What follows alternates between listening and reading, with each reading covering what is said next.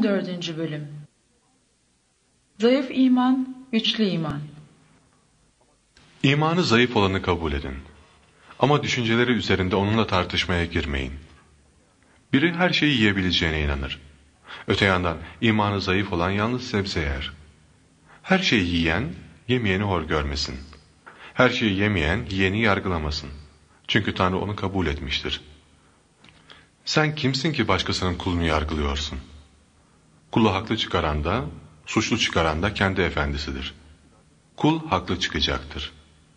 Çünkü Rabbin onu haklı çıkarmaya gücü vardır. Kimi bir günü başka bir günden üstün sayar, kimi her günü bir sayar. Herkesin kendi görüşüne tam güveni olsun. Günü kutlayan Rab için kutlar.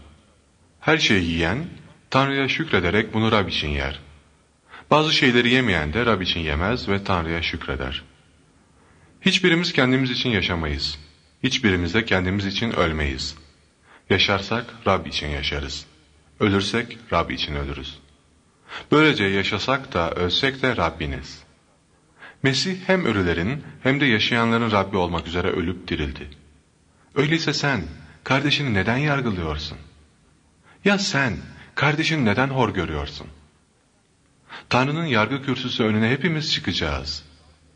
Yazılmış olduğu gibi, Rab şöyle diyor, Varlığım hakkı için her diz önümde çökecek ve her dil Tanrı olduğumu açıkça söyleyecek. Böylece her birimiz kendi adına Tanrı'ya hesap verecektir. Bunun için artık birbirimizi yargılamayalım. Tam tersine, herhangi bir kardeşin yoluna sürçme ya da tökezleme taşı koymamaya kararlı olun. Rab İsa'ya ait biri olarak şunu kesinlikle biliyorum ki, hiçbir şey kendiliğinden murdar değildir. Ama bir şeyi murdar sayan kimse için o şey murdardır. Yediğin bir şey yüzünden kardeşin incinirse, artık sevgi yolunda yürümüyorsun demektir.